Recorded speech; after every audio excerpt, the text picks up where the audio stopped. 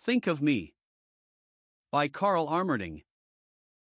Think on me when it shall be well with thee, and shew kindness, I pray thee, unto me, and make mention of me to Pharaoh, and bring me out of this house. Genesis 40, verse 14.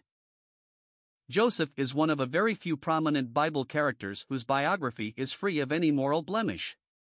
Indeed, it was because he resisted the temptation to sin that he was cast into prison, the story of which many of us have been familiar with since childhood. In many respects, the life of Joseph may serve as a foreshadowing of the life of our Lord himself. In prison, Joseph, like the Lord, found himself associated with two malefactors in the same condemnation. To the one, he became the interpreter of life, and to the other, the interpreter of death. Of the latter, Joseph asked nothing, but of the former, he requested that he would remember him when it was well with him, that he would show kindness unto him, and that he would make mention of him to Pharaoh. In his threefold request, one can almost hear the voice of the Lord asking us to do the same for him. Let us note the timing of all this. It was to be when it was well with him. In other words, when he was again enjoying the favor of his royal master, whom he had grievously offended.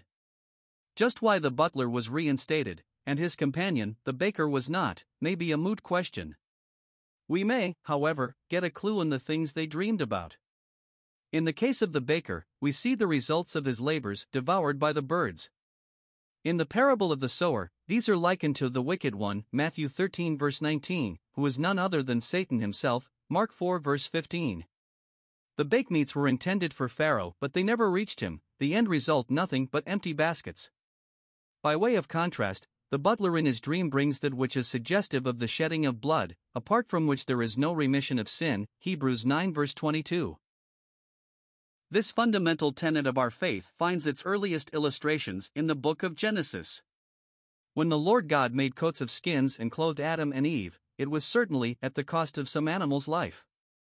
When Abel brought of the firstlings of his flock and the fat thereof, the same great truth was made explicit. How much of this truth may have penetrated to Egypt, we cannot say. We are not told why the chief butler was restored to the royal favor, in spite of the fact that, like the chief baker, he had offended his lord, the king of Egypt. In any case, sheer gratitude should have made him ready to do anything that Joseph might ask. Instead, we read in the last verse of the chapter, Yet did not the chief butler remember Joseph, but forgat him. It is to be feared that many of those who claim to know Christ as Savior are not unlike the chief butler in this respect. When our Lord instituted the feast which we know as the Lord's Supper, he simply requested that his disciples should observe it in remembrance of him. He did not give them the bread to feed themselves, or to fill their empty baskets. The bread was to remind them of his body. Likewise the cup, for said Christ. This is the New Testament in my blood, which is shed for you. Such are the simple, yet precious, memorials of his death. Like Joseph, our Lord asks this favor of those of whom it may be said, It is well with them because of what he has done for them.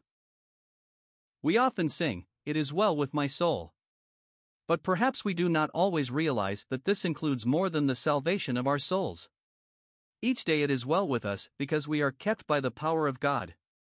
Then, too, there is a sense in which this may refer to our spiritual health. In the instructions given for the observance of the Lord's Supper, we are told to examine ourselves before we eat of that bread and drink of that cup. 1 Corinthians 11 verse 28. The purpose of this self examination is to discover anything in our lives which may be grieving the Holy Spirit. This should lead to repentance and confession, so that every hindrance to full communion with the Lord may be removed. It is in this way that good spiritual health is maintained, so that we may rightly sing, It is well with my soul. Then, as we remember him and meditate on the love that led him to Calvary for us, our hearts will be moved as well.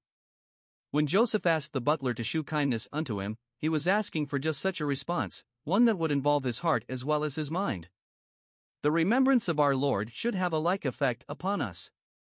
It should be a matter of deep concern if we are not so moved. A good way to test one's spiritual state is to read such passages as Psalms 22 and 69, Isaiah 53, or the account of the crucifixion as related in the Gospels.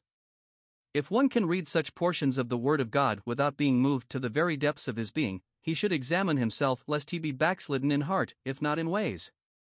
We grow cold all too easily. Perhaps that is one reason why we are told, As often as ye eat this bread and drink this cup, ye do show the Lord's death till he come. 1 Corinthians 11 verse 26. Frequent observance of the Lord's Supper need not make it commonplace. Rightly observed, it can be a true means of grace in that it will encourage a healthy spiritual life. One of the practical results of this will be that it will be easy to speak of him. Joseph's request was, Make mention of me to Pharaoh. Our Lord's word to us is summed up in the Great Commission. It is to be hoped that each time we come together to remember Him in the breaking of bread, our hearts, like that of the psalmist, may bubble over with a good matter.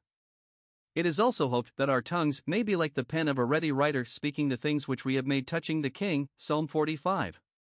Overflowing hearts require no prompting, for out of the abundance of the heart the mouth speaketh.